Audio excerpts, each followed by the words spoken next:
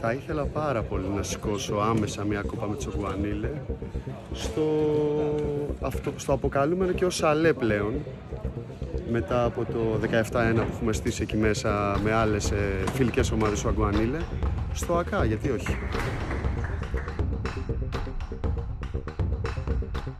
Αντώνη, να σε ρωτήσω.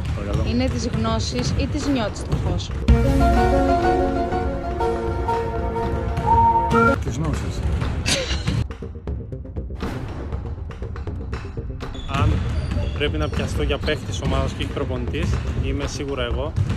Και με κοροϊδεύουν γι' αυτό γιατί πάντα τους λέω ότι σήμερα το μάτι είναι χαμένο. Πολλές φορές κερδίζουμε και μετά τα ακούω.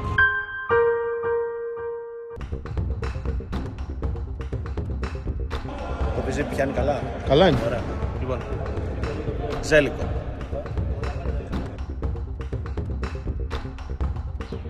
Σύρισμα ασυζητητή. Χριστός.